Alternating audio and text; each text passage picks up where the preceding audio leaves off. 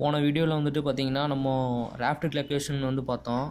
இப்போ இந்த வீடியோவில் வந்துட்டு நம்ம காலம் வந்து எப்படி ராட் எடுக்கலாம் அப்படிங்கிற மாதிரி நம்ம பார்க்க போகிறோம் ஸோ அந்த காலமுக்கு ராட் எடுக்கிறது வந்து எப்படின்னு சொல்லி பார்த்தீங்கன்னா அதுக்கு முன்னாடி எத்தனை டைப் ஆஃப் காலம்ஸ் இருக்குது அப்படின்னு சொல்லி பார்க்கணும். இதில் வந்துட்டு C one column C two column அதுக்கப்புறம் சி த்ரீ காலம் அப்படிங்கிற மாதிரி இருக்குது இது டோட்டலாக வந்துட்டு டோட்டலாக இருபத்தாறு காலம். அப்போ இருபத்தாறு காலத்தில் வந்துட்டு இந்த சி ஒன் காலம் எட்டு காலமும் சி டூ காலம் எட்டு காலமும் சி த்ரீ காலம் எட்டு காலமும் வெளியே வந்துட்டு போர்ட்டிக்கோக்கு ரெண்டு காலம் இருக்கிற மாதிரி இருக்குது ஸோ வந்துட்டு ஃபஸ்ட்டு வந்து சி ஒன் காலம் வந்து நான் இப்போ எடுக்க போகிறேன் இந்த சி ஒன் காலம் இந்த சி ஒன் காலம் வந்து எட்டு காலம் இருக்குது இந்த சி ஒன் காலத்தோட டைமென்ஷன் வந்துட்டு இங்கே கொடுத்துருக்கான்.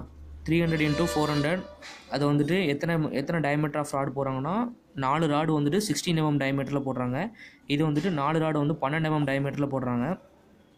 அதோட ஸ்பேசிங் வந்துட்டு மேக்ஸிமம் எல்லா இதுலேயுமே வந்துட்டு பார்த்திங்கன்னா ஒரே ஸ்பேசிங் தான் கொடுப்பாங்க மேலே இருந்து கீழே வரைக்கும். இந்த டயக்ராம் பொறுத்த வரைக்கும் ஸ்பேசிங்கை பிரித்து பிரித்து கொடுத்துருக்காங்க. ஸோ ஸ்டிரப்ஸ் வந்துட்டு உள்ளே இந்த மாதிரி ரெண்டு ஸ்டிரப்ஸ் போடுறாங்க. உள்ளே வந்துட்டு ஒரு ஸ்டார் ஷேப்பில் ஒன்றும் வெளியே வந்துட்டு சிரப்ஸ் டோட்டலாக சுற்றி ஒரு சிரப்ஸ் வர மாதிரி கொடுத்துருக்காங்க. இந்த சிரப்ஸ் கிளாக்குலேஷன் ப்ளஸ் இந்த மெயின் ப்ராடக்ட் கிளாக்குலேஷன் இந்த டீட்டெயில்ஸ் வந்து எப்படி கொடுத்துருக்காங்க அப்படிங்கிறத வந்துட்டு இந்த டயக்ராமில் இருக்கும்.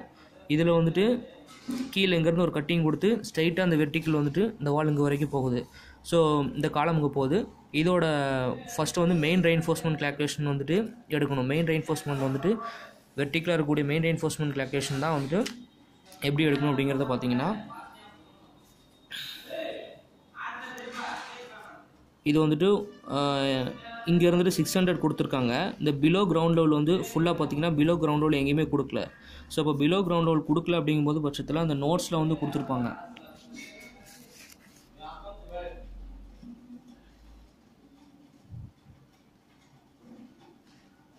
இந்த நோட்ஸில் நாலாவது பாயிண்டில் எஸ்பிசி எஸ்பிசிங்கிறது வந்து safe bearing capacity of soil இந்த space bearing capacity of soil foundation at level வந்துட்டு ஒன் பாயிண்ட் ஃபைவ் மீட்டருக்கு கீழே வந்துட்டு இருக்கணும் அப்படிங்கிற மாதிரி நமக்கு கொடுத்துருக்காங்க.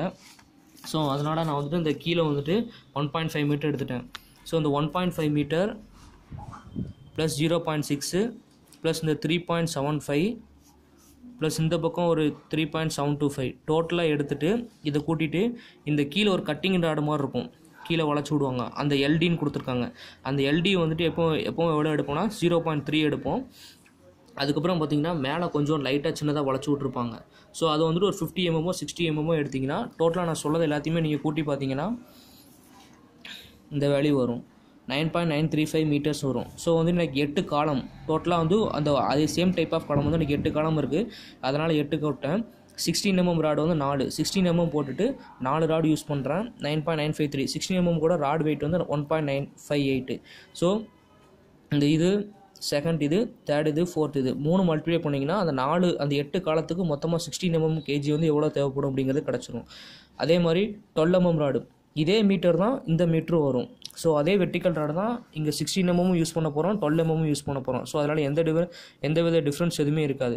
ஸோ அதே லென்த்தை வந்து நாங்கள் nine point nine three five metre அப்படின்னு சொல்லி போட்டேன். டுவெல் எம்எம் mm கூடிய ராட் வெயிட் வந்து zero point eight nine so அதையும் போட்டேன். ஸோ அதே மாதிரி தான் எட்டு காலம் நாலு நாலு ராட் யூஸ் பண்ணுறோம் nine point nine five three metre total kg பார்த்துட்டோம். இதில் வந்துட்டு லேப்பிங் அப்படின்னு சொல்லி போட்டிருப்பேன். காலமை பொறுத்த வரைக்கும் எப்படி லேப்பிங் அப்படிங்கிறது எப்படின்னா இங்கேருந்து ஸ்டி ஸ்ட்ரைட்டாக அப்படி கொண்டு போக மாட்டாங்க. இப்படி கொண்டு வந்து இப்படி ஸ்ட்ரெயிட்டாக கொண்டு போக மாட்டாங்க. இதில் வந்து என்ன பண்ணால் ஒரு கட்டிங் ராடு மாதிரி போடுவாங்க. இந்த கட்டிங் ராடு போட்டு இதில் வந்துட்டு பாதி உள்ளேயும் இந்த ராடு வந்து பாதி இப்படி உள்ளே இருக்கிற மாதிரி போடுவாங்க. ஸோ அந்த இந்த டிஸ்டன்ஸ் வந்து குறிப்பிட்ட ஒரு டிஸ்டன்ஸ் வந்து இந்த ராடு போய் இந்த ராடோட அட்டாச் ஆகக்கூடிய இந்த எக்ஸ்ட்ரா ராடு டிஸ்டன்ஸ் இருக்குல்ல அந்த டிஸ்டன்ஸ் வந்துட்டு ஒன் பாயிண்ட் ஃபைவ் மீட்டர் நான் வச்சுக்கிட்டேன். ஸோ அப்போ அதே மாதிரி தான் சிக்ஸ்டீன் எம்எம் mm ராட்லேயும் அந்த போய் ஜாயின்ட் ஆகிறதுக்காக ஒன் பாயிண்ட் ஃபைவ் மீட்டர் வைப்போம். இதுலேயும் டுவெல் எம்எம்லேயும் ஒன் பாயிண்ட் ஃபைவ் மீட்டர் வைப்போம். ஸோ அதே மாதிரி எட்டு காலம் நாலு நாலு ராடுன்னு வரும். அதனால் ஒன் பாயிண்ட் ஃபைவ் மீட்டர் போட்டு one point five eight zero point eight nine போட்டு டோட்டலாக வந்துட்டு எவ்வளோ கேஜி அப்படிங்கிறத பார்த்துலாம் சிக்ஸ்டீனுக்கு டுவெல்லுக்கு தனியாக கண்டுபிடிச்சிடும் ஸோ மெயின் ராடு கேல்குலேஷன் இதோட முடிஞ்சுது. இப்போ அந்த ஸ்டெரப்ஸ் எடுக்க போகிறோம் இந்த ஸ்டெரப்ஸ் வந்துட்டு இப்போ என்ன டைப் ஆஃப் ஸ்டெரப்ஸ் எடுக்க போகிறோம் அப்படின்னு சொல்லி பார்த்தீங்கன்னா இந்த சுற்றி இருக்கக்கூடிய சிரப்ஸ் இருக்குது அதை தான் எடுக்க போகிறேன்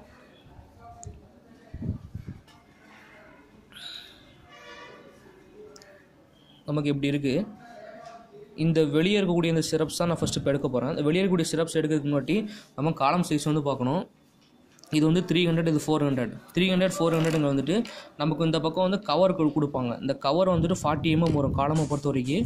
ஸோ அப்போ த்ரீ ஹண்ட்ரடில் ஃபார்ட்டி ஃபார்ட்டி மைனஸ் பண்ணிட்டோம் அப்படின்னா நமக்கு உள்ளே இருக்கக்கூடிய வந்து என்ன இருக்கும்னா டூ டுவெண்ட்டி இருக்கும். ஸோ அதே மாதிரி இந்த பக்கம் ஃபோர் ஹண்ட்ரட் ஃபோர் ஹண்ட்ரடில் இந்த பக்கம் ஒரு ஃபார்ட்டி ஃபார்ட்டி கண்ணு கழிச்சிட்டோம் அப்படின்னா த்ரீ டுவெண்ட்டி இருக்கும். இது டோட்டலாக டோட்டலாக ஃபுல்லாத்தையும் கூட்டி பார்த்துட்டு இப்போ zero point three two zero plus zero point three two zero இந்த பக்கம் எடுத்த மாதிரி அதே மாதிரி இந்த சைடு இந்த சைடு வரும். ஸோ அதனால் நான் என்ன பண்ணுறேன்னா இன்டூ டூ போட்டுடுறேன். அதுக்கப்புறம் என்ன பண்ணுவாங்கன்னா இந்த ராடு போடும் வந்துட்டு லைட்டாக அப்படி இந்த கார்னரில் வந்து இப்படி வளைச்சி விடுவாங்க. இந்த இடத்துல ஒரு சின்னதாக வளைஞ்சிருக்கும் இந்த இடத்துல ராடு வந்து இப்படி வளைஞ்சிருக்கும்.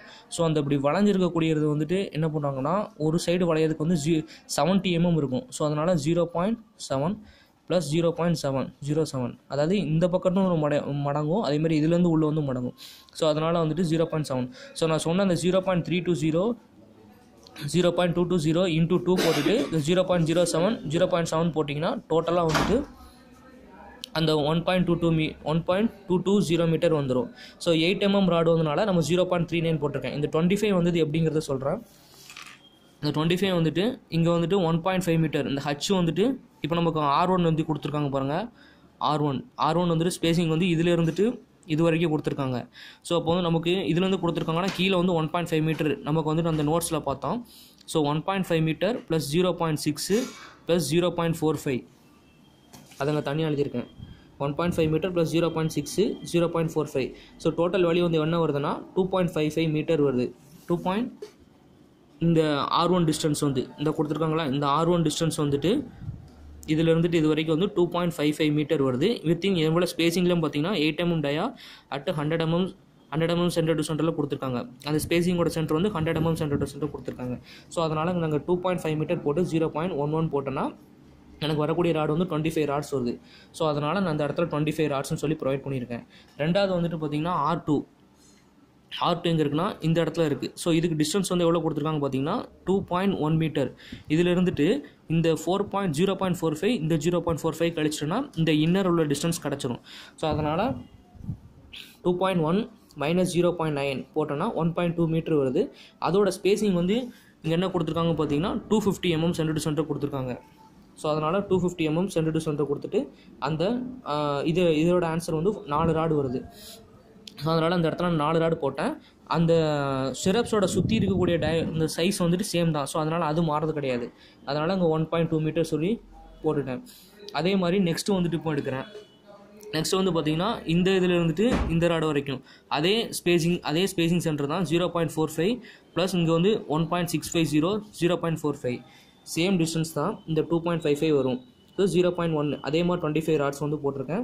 ஸோ அதனால் இங்கே டுவெண்ட்டி ஃபைவ் ராட்ஸ் போட்டிருக்கேன். One point two two zero metre இங்கேயும் சேம் டயக்ராம் கீழே எப்படி நமக்கு வந்து அந்த டூ பாயிண்ட் ஒன் மீட்டரில் நம்ம மைனஸ் பண்ணுமோ zero point four five zero point four five minus பண்ணுமோ அதே வேல்யூ வந்தனால நான் அப்படியே அங்கே போட்டிருக்கேன். மேலே உள்ள இந்த டைமென்ஷன் வந்து பார்த்தீங்கன்னா இதில் இருந்துட்டு ஆர் ஒன் வந்து நமக்கு கொடுத்துருக்காங்க. இந்த ஆர் ஒன் டிஸ்டன்ஸ் வந்து நமக்கு வேணும். அப்போ இதில் இருந்துட்டு one point six two five கொடுத்துருக்காங்க. இதில் வந்து ஜீரோ பாயிண்ட் ஃபோர் ஃபைவ் கொடுத்துருக்காங்க. ஸோ அது ரெண்டுத்தையும் கூட்டினா நமக்கு வரக்கூடிய ஆன்சர் வந்து என்னென்னு பார்த்தீங்கன்னா two point zero seven five இந்த two point zero seven five வந்துட்டு ஸ்பேசிங் வந்து ஹண்ட்ரட் எம்எம் ஸோ அதனால் ஹண்ட்ரட் அப்படின்னு சொல்லி கொடுத்தோன்னா டுவெண்ட்டி ராடு நான் அந்த இடத்துல டுவெண்ட்டி ராட் ப்ரொவைட் பண்ணிவிட்டு one point two two zero metre சொல்லி போட்டு இந்த இந்த இந்த சுற்றி இருக்கக்கூடிய சிரப்ஸ் வந்து நம்ம கண்டுபிடிச்சிட்டேன். ஸோ சுற்றி இருக்க சிரப்ஸ் கண்டுபிடிச்சிட்டேன். இப்போ நான் இன்னரில் உள்ள இந்த டிஸ்டன்ஸ் வந்து நான் கண்டுபிடிக்கணும். இந்த இன்னரில் ஒரு சிரப்ஸ் இப்படி போட்டிருந்தாங்கல்ல இந்த இந்த ஸ்கொயர் ஷேப்பில் ஒரு போட்டிருக்காங்க இந்த உள்ள ஒரு இந்த ஒரு ஸ்டார் ஷேப்பில் இருக்குல்ல ஸோ இந்த இது வந்து நான் கண்டுபிடிக்கணும். அந்த அந்த இதுக்கு நான் டிஸ்டன்ஸ் கண்டுபிடிக்கிறதுக்கு வந்து நான் எப்படி கண்டுபிடிக்கணும்னு சொல்லி பார்த்தீங்கன்னா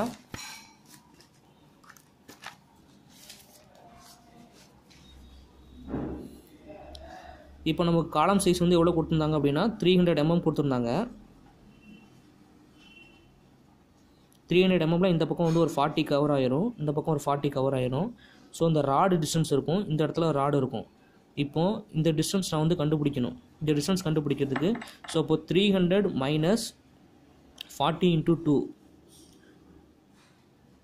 அதாவது இந்த பக்கம் ஒரு ஃபார்ட்டி இந்த பக்கம் ஒரு ஃபார்ட்டி அதனால் இன்ட்டு டூ போட்டிருக்கேன். ஸோ டூ டுவெண்ட்டி அப்போது இந்த டிஸ்டன்ஸ்லேருந்து டிஸ்டன்ஸ் இந்த ராடு வந்து டூ டுவெண்ட்டி இந்த two twenty divided by two எடுத்துக்கிட்டிங்க அப்படின்னா நமக்கு வரக்கூடிய வேல்யூ வந்து என்ன ஒன் ஒன் ஃபைவ் வரும்.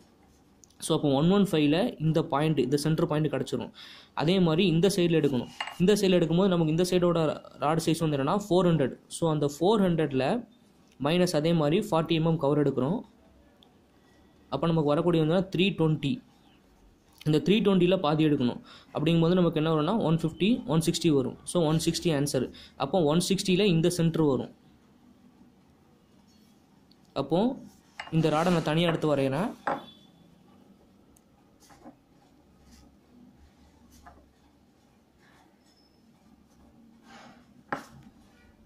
இந்த ட்ரையாங்கிள் மாதிரி இருக்குல்ல அதை நான் தனியாக வரைஞ்சிருக்கேன். ஸோ இதுக்கு கண்டுபிடிச்ச டிஸ்டன்ஸ் வந்துட்டு என்னென்னா ஒன் ஒன் ஃபைவ் இதுக்கு கண்டுபிடிச்ச டிஸ்டன்ஸ் வந்து என்னென்னா zero point three two zero three zero point three two zero so இப்போ நமக்கு வந்துட்டு என்னென்னா இந்த டிஸ்டன்ஸ் நமக்கு வந்து தேவை வேணும் இந்த டிஸ்டன்ஸ் வந்து நமக்கு தேவைப்படுது. ஸோ அதுக்கு நம்ம என்ன பண்ணுறோம் அப்படின்னா ரூட் எடுக்கிறோம். நேற்று வாட்ஸ்அப்பில் ஒருத்தர் இந்த டவுட் கூட கேட்டிருந்தாரு. நம்ம மூல ஓட்டம் பார்க்குறதுக்கு வந்து எப்படி அப்படிங்கிற மாதிரி கேட்டிருந்தாங்க. அதுக்கு இந்த கான்செப்ட் தான் zero point one five square zero point three two zero square இந்த ஆன்சரை நீங்கள் எடுத்துகிட்டு ரூட் எடுத்து வெளியே போட்டிங்கன்னா ஒரு ஆன்சர் வரும். அந்த ஆன்சரும் ப்ளஸ் வந்துட்டு என்ன பண்ணுவாங்கன்னா இப்போ அந்த ஆன்சர் வந்து நமக்கு இந்த இந்த டிஸ்டன்ஸ் மட்டும் கிடைக்கும். இப்போ இதில் வந்து நான் ஒரு ஜீரோ பாயிண்ட் ஒன் மீட்டர் அப்படின்னு சொல்லி வைக்கேன் அப்படின்னா இதை வந்து இப்போ நமக்கு கிடச்ச ஆன்சர் வந்துட்டு ஜீரோ பாயிண்ட் ஒன் மீட்டர் அப்படின்னு சொல்லி வைக்கணும்னா நமக்கு வந்து இந்த ஆன்சர் வந்து ஜீரோ பாயிண்ட் ஒன் மீட்டர் இப்போ இதே மாதிரி நாலு பக்கம் வரும். ஸோ அப்படிங்கனால இதில் ஜீரோ பாயிண்ட் ஒன் இதில் ஒரு ஜீரோ பாயிண்ட் ஒன் இதில் ஒரு ஜீரோ பாயிண்ட் ஒன் இதில் ஜீரோ பாயிண்ட் அப்போ ஜீரோ பாயிண்ட் ஃபோர் மீட்டர் அப்படின்னு சொல்லி எடுத்ததுக்கப்புறம் என்ன பண்ணணும்னா இந்த ராட் அங்கே வளைச்சி விடும்னு சொன்னோம்ல ஸோ இந்த மாதிரி வளைச்சி விடுவாங்க. அது வந்துட்டு என்னென்னா செவன்ட்டி எம்எம் ஸோ ரெண்டு பக்கம் செவன்ட்டி எம்எம் அப்படின்னால ஒன் ஃபார்ட்டி வரும். ஸோ அப்போ டோட்டலாக பார்த்தீங்கன்னா ஜீரோ பாயிண்ட் ஃபைவ் ஃபோர் வரும். இப்போ இந்த வேல்யூ வந்து நான் அப்ராக்சிமேட்டாக ஜீரோ பாயிண்ட் ஒன்னு சொல்லி எடுத்திருக்கேன். நான் எடுத்த கேல்குலேஷன் வேறு தனியாக இருக்குது ஸோ அந்த ராடோட அந்த அந்த ஒரு ட்ரையாங்கிள்மா ஒரு இது இருக்குது பார்த்தீங்களா? இந்த ஷேப்பில் இருக்கக்கூடிய அந்த ராடு இருக்குல்ல அந்த ராடோட லென்த் மீட்டர் தான் வந்து zero point nine two metre so நம்ம இந்த ராடு ஸ்கொயர் ஷேப்பில் இருக்கக்கூடிய ராடு எங்கெல்லாம் ப்ரொவைட் பண்ணுமோ அதே இடத்துல தான் இந்த இந்த ராடு வந்து நம்ம ப்ரொவைட் பண்ண போகிறோம் ஸோ இந்த ராடு ப்ரொவைட் பண்ணுறது அப்படின்னால ஸோ அப்போ எங்கெங்கெல்லாம் இந்த ராடு நம்ம ப்ரொவைட் பண்ணணும்? டுவெண்ட்டி ஃபைவ் எம்எம்ல இப்போ ஃபோரு டுவெண்ட்டி ஃபைவ் ஃபோரு இந்த டுவெண்ட்டி எங்கெல்லாம் ப்ரொவைட் பண்ணுமோ அதே இடத்துல ஃபுல்லாக இது வரப்போகுது. ஸோ அதனால் இது அப்படியே இங்கே எழுதி இந்த இந்த பக்கம் எழுதிக்கலாம். இந்த ராடோட லென்த்து மீட்டர் மட்டும் மாறும். ஸோ அந்த மீட்டர் போட்டுட்டு ஜீரோ பாயிண்ட் த்ரீ நைன் நம்ம எயிட் எம்எம் யூஸ் பண்ணுறதுனால அதை எயிட் ராடு எத்தனை சிரப்ஸு ஜீரோ பாயிண்ட் நைன் எட்டு சாரி ஃபஸ்ட்டு எட்டு காலமு டுவெண்ட்டி ஃபைவ் ராட்ஸ் வந்து ஒரு காலமுக்கு யூஸ் பண்ணுறோம் அப்புறம் ஜீரோ பாயிண்ட் நைன் மீட்ரு ஒரு ஒரோட மீட்ரு அதுக்கப்புறம் எயிட் எம்மோட one metre லென்த்தும் zero point three nine so இது மூணுத்தையும் மல்டிப்ளை பண்ணி நாலுத்தையும் மல்டிப்ளை பண்ணிட்டீங்கன்னா உங்களுக்கு வர வேல்யூ வந்துடும் ஸோ டோட்டலாக ஒரு காலமுக்கு எனக்கு எட்டு எம்எம் எவ்வளோ தேவைப்படுது? டுவெல் எம்எம் எவ்வளோ தேவைப்படுது? பதினாறு எம்எம் எவ்வளோ தேவைப்படுது? இது ஃபுல்லாமே என்ன கேல்குலேஷன்னா எட்டு காலமுக்கு என்ன தேவைப்படுது அப்படிங்கிறத வந்து நம்ம அதில் பார்த்துருக்கோம். நெக்ஸ்ட் வீடியோவில் வந்துட்டு அடுத்தால ஸ்லாபு லிண்டல் பீம் எப்படி எடுக்கலாம் அப்படிங்கிறத பார்க்கலாம்.